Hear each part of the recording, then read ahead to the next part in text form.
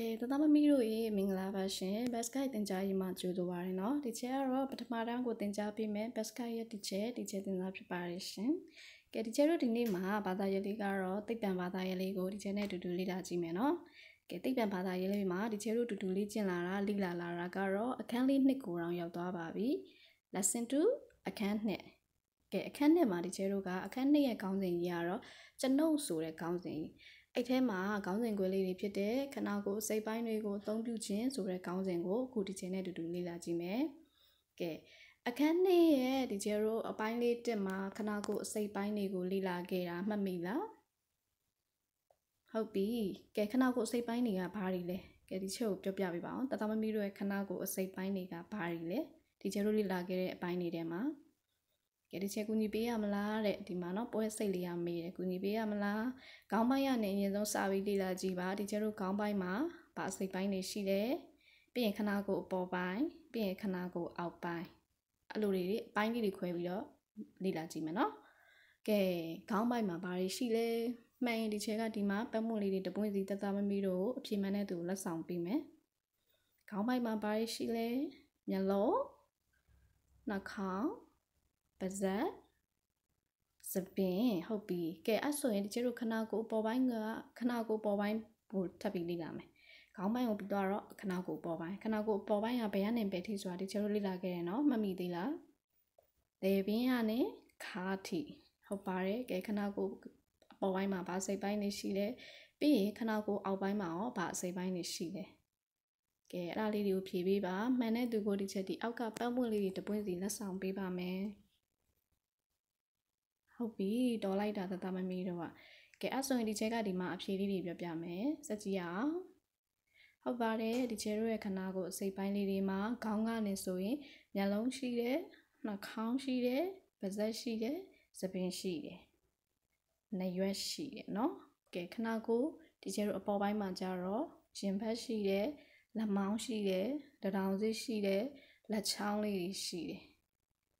ခါးရှိမယ် ကဲတချို့တို့ခဏကိုအောက်ပိုင်းမှာဆိုလို့ရှိရင်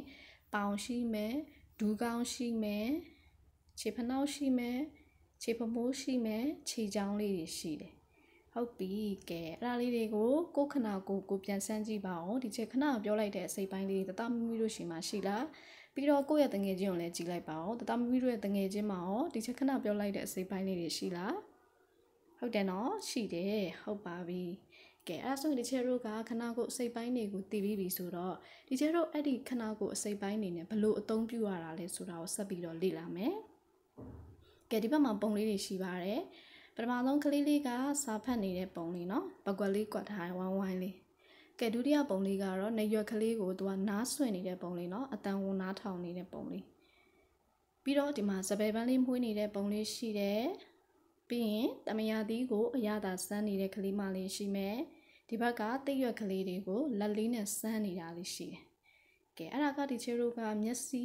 နားနှာခေါင်းရှာလက်တွေကိုဘလို့အသုံးပြုနိုင်မလဲတဲ့။ကဲဒီမှာဒီချေတို့ကပုံလေးတွေတော့ကြည့်ပြီးပြီ။ကဲဆက်ပြီးကြည့်ရအောင်။ကဲဒီမှာကြည့်ပါဦးတမယာသီးလေးစားနေရ။တမမီတို့ရောတမယာသီးစားဘူးလား။ကဲတမယာသီးကဘလို့ရတာရှိလဲ။ဟုတ်တာပေါ့ဒီမှာကြည့်ပါအောင်ရေးပါရေးထားရနော်တမယာသီးကချင်တယ်တဲ့ကလေးလေးမျက်နှာလေးကိုကြည့်လိုက်ပါအောင်ချင်နေတဲ့မျက်နှာလေးနော်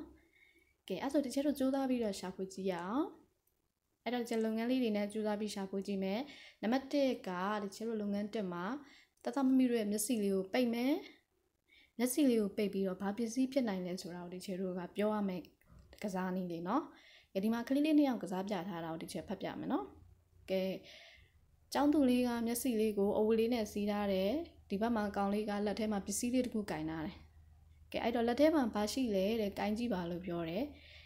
အဲ့တော့ကလေးလေးကသူကမျက်စိမှိတ်ထားတော့မမြင်အောင်မမြင်ရဘဲနဲ့သူ့လက်ကလေးနဲ့ဆန်းလိုက်တယ်ဆန်းလိုက်တော့တဲ့သူဘလို့ခံစားရလဲဆိုတော့ပျော့သလိုလိုမာသလိုလိုအရွယ်စားလေးတဲ့အဲနဲ့ဒါခဲတံဖြစ်နိုင်မလားလို့သူကမျက်စိလေးမှိတ်ပြီးတော့ပြောလိုက်တော့ ကဲအဲ့နဲ့ကောင်မလေးကိုကောင်မလေးကအဲ့လိုပြောလိုက်တော့ကောင်လေးကနေပြီးတော့ကဲမျက်စိဖွင့်ပြီးကြည့်လိုက်ပါတဲ့ဟုတ်တယ်တဲ့ခဲပြတ်ပါပဲတဲ့နော်ကဲအဲ့ဒါကဒီချေတို့ကမျက်စိလေးနဲ့ဆိုရင်အရာဝတ္ထုတွေကိုကြည့်နိုင်တယ်မြင်နိုင်တယ်ပြီးတော့ဒီချေတို့လက်ကအရေးပြားလေးရှိတယ်အဲ့အရေးပြားကလည်းဒီချေတို့ကထိတွေ့နိုင်တယ်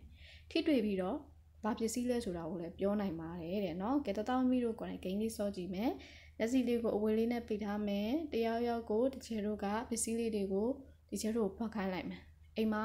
ကိုကိုမမတွေရှိမယ်ဆိုလို့ရှိရင်ကိုကိုမမတွေကပစ္စည်းလေးတွေကိုတတော်မမီတို့ဖွက်ထားမယ်တတော်မမီတို့ကမျက်စိလေးမှိတ်ထားပြီးရင်အဲ့ပစ္စည်းလေးတွေကဘာပစ္စည်းလေးလဲဆိုတာကိုမကြည့်ဘဲနဲ့လက်ကလေးနဲ့ပဲဆမ်းပြီးတော့အပြေမှန်အောင်ပြောရမယ်ဂိမ်းလေးစောကြည့်နော်ကဲအဲ့ဆိုဒီချက်ကမျက်စိကလေးနဲ့ရာဝတ္ထုတွေမြင်နိုင်တယ်အရေးပြားနဲ့ထိတွေ့နိုင်တယ်ပြောပြီးပြီဆိုတော့နောက်လုပ်ငန်းနှစ်ကလေးကိုလည်းတစ်ချက်ပြောပြမယ်ကဲလုပ်ငန်းနှစ်ကဘာလဲဆိုတော့ဒီမှာခေါင်းလောင်းတီးတဲ့ပုံလေးပြထားရနော် အတန်တွေကိုနားထောင်ပြီးတော့ဖြည့်ကြည့်မယ်တဲ့ကဲဒီခါတစ်ချက်တို့ကနေရွက်ကလေးကိုတုံးပြီးတော့ဂိမ်းဆော့မယ်ကဲဒီချက်ကမှခေါင်းလောင်းလေးကိုကလောင်းကလောင်းကလောင်းကလောင်းကလောင်းနဲ့ခေါက်လောက်တယ်ခေါက်လောက်တယ်ဆိုတော့သမမီတို့ကမျက်စိမိတ်ထားတယ်နေရွက်ပဲသုံးရမယ်ဆိုတော့အတန်နားထောင်ပြီးတော့ဒါကဘာအတန်လဲဆိုတာကိုပြောရမယ်ဂိမ်းလေးကဲအဲ့ဆိုရင်ဒီချေတို့ကအတန်တွေကိုဘာနဲ့နားထောင်နိုင်လဲနေရွက်နားနဲ့နားထောင်နိုင်တယ်နော်နားလေးနဲ့နားထောင်နိုင်တယ် ကဲနောက်လုပ်ငန်း3လေးကနောက်တစ်ခုဒီချက်ပြောပြမယ်ကဒီမှာနော်ပုံထဲမှာဒီကျတော့ဘူးကြီးရှိတယ်အဲ့ဘူးရဲ့အပေါ်မှာဒီကျတော့အပေါက်လေးတစ်ခုကိုဖောက်ထားတယ်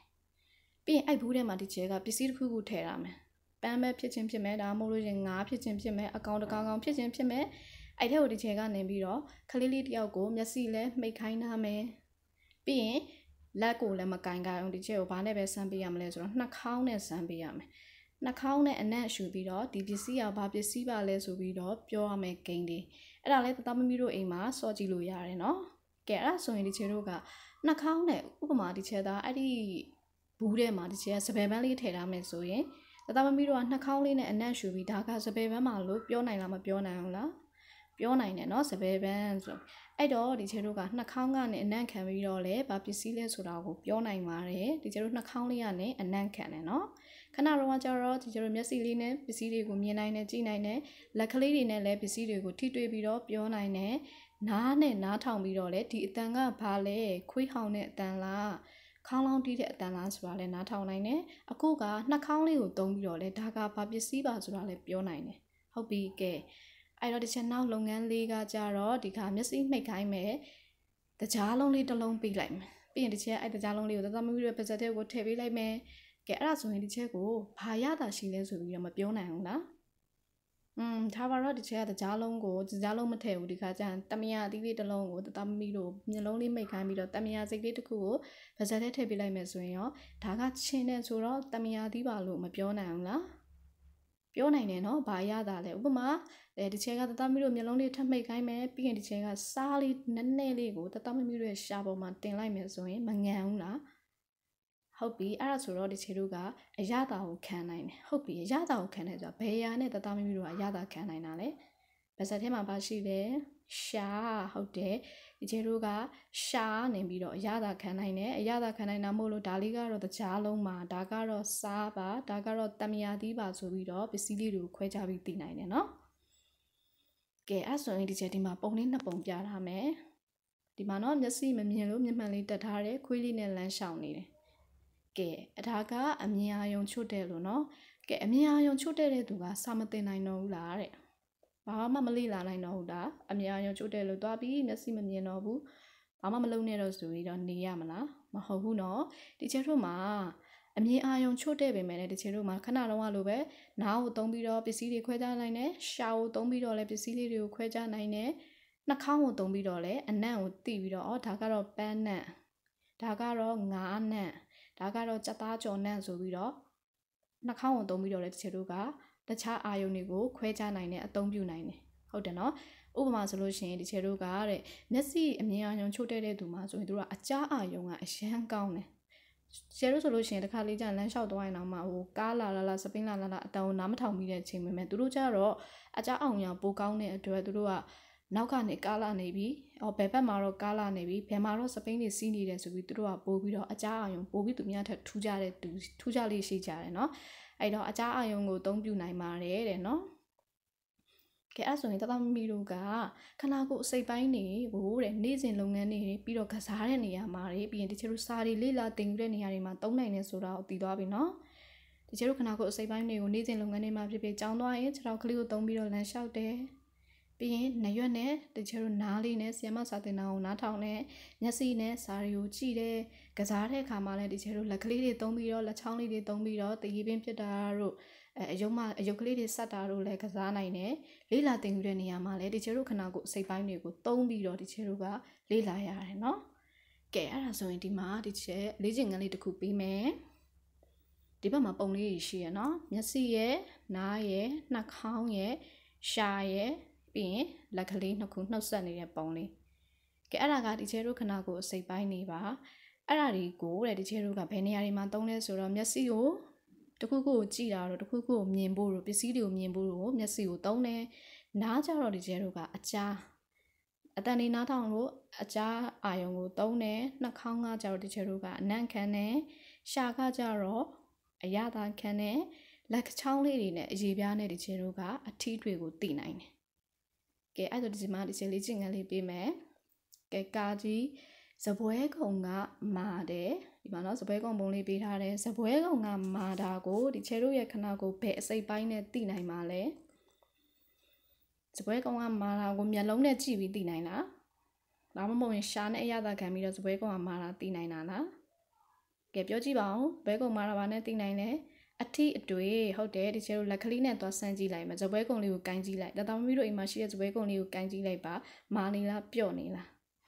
ဟုတ်တယ်ဘာနဲ့ဆန်းလိုက်တာလဲလက်နဲ့ဆန်းလိုက်တာအဲ့တော့တချေတို့ကအထီအတွေ့နဲ့တီးနိုင်တယ်ကဲဒုတိယခါခွေးလေးကတကြားလုံးကချိုတယ်တဲ့ကဲအဲ့ဒါကဘယ်ခဏကိုအစိပ်ပိုင်းကိုတုံးလိုက်တာလဲတကြားလုံးကချိုတယ်ဆိုတာကဟုတ်ပြီစဉ်းစားပါဂငယ်နှင်းစီပန်းကမှုေးတယ် ကဲနှင်းစီပန်းနံလေးကမှုေးတယ်တဲ့အဲ့တော့တချေတို့ကမျက်လုံးနဲ့အနံ့ခံလိုက်တာလားနားနဲ့အနံ့ခံလိုက်တာလားဟုတ်ပြီဒါလည်းတသမမီတို့ကိုယ်တိုင်စဉ်းစားပါကဲဂါကြီးကတရက်ပင်မောမှာတရက်သီးတွေတီးနေတယ်ကဲအဲ့ဒါကဒီချေတို့ကတရက်ပင်မောမှာတရက်သီးတွေတီးနေတယ်ဆိုတာကရှာနဲ့တီးနိုင်တာလားဒါမှမဟုတ်ရင်အထီအတွေ့နဲ့တီးနိုင်တာလား ဒီတိုင်းဟိုတွေ့ရကိုဆန်းပြီးတော့တရက်ပင်ပေါ်မှာတရက်သီးတွေတီးနေရဆိုပြီးတီးသွားတာလားကဲစဉ်းစားကြည့်ပါအောင်နော်ကဲနောက်ဆုံးငါကကြတော့တယ်လီဖုန်းမြည်နေတယ်တဲ့ကလင်းကလင်းကလင်းကလင်းကလင်းကလင်းကလင်းလို့တယ်လီဖုန်းမြည်နေတာကိုဒီကျတို့ဘယ်အစိပ်ပိုင်းကြောင့်သိနိုင်တာလဲဟုတ်ပြီတတမမီတို့ကိုယ်တိုင်ဒီချက်ကိုဒီမေးခွန်းလေးတွေကိုကိုယ်တိုင်လေ့လာပြီးတော့ဖြေပေးပါကဲအဲ့ဒါဆိုရင်ဒီချက်တို့ဒီနေ့တော့ဒီလောက်ပါပဲရှင် thank you